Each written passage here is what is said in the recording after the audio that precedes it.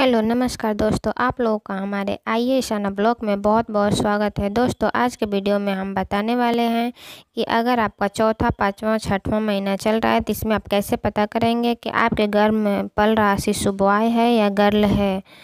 दोस्तों, माना जाता है कि अगर घर में पल रहा शिशु गर्ल होती है तो आप जब खाना खाने बैठते हैं तो उस टाइम आपको नाभि से ऊपर की तरफ़ बहुत ही कड़ा टाइप का अनुभव होता है और जैसे लगता है कुछ टाइट हो गया है, ऐसा अनुभव होता है तो ये बेबी गर्ल का सिम्टम होता है। और अगर नाभि से नीचे आपको टाइट जैसे बच्चा पैर अड़ा लेता है वैसा और टाइट ठोस टाइप का आपको नीचे अनुभव हो तो ये बेबी बॉय के सिम्टम होते हैं दोस्तों।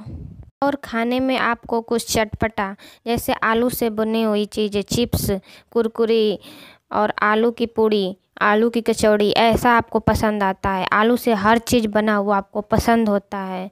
तो ये भी बेबी बॉय के सिम्टम होते हैं। तो लड़कियों के टाइम ये आलू से बनी हुई चीज़ें ज़्यादा पसंद नहीं आती है। और अगर आपको बार बार यूरिन पास करना ऐसा टाइप का फील होता है, अगर आप ज़्यादा यूरिन पास करते हो बार बार जाते हो यूरिन पास करने के लिए तो ये भी बेबी बॉय के सिम्टम होते हैं, दोस्तों।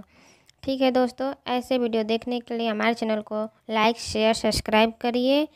और दोस्तों, ये वीडियो और ये चैनल कोई भी जनरल प्रोडक्शन को बढ़ावा नहीं देता है दोस्तों।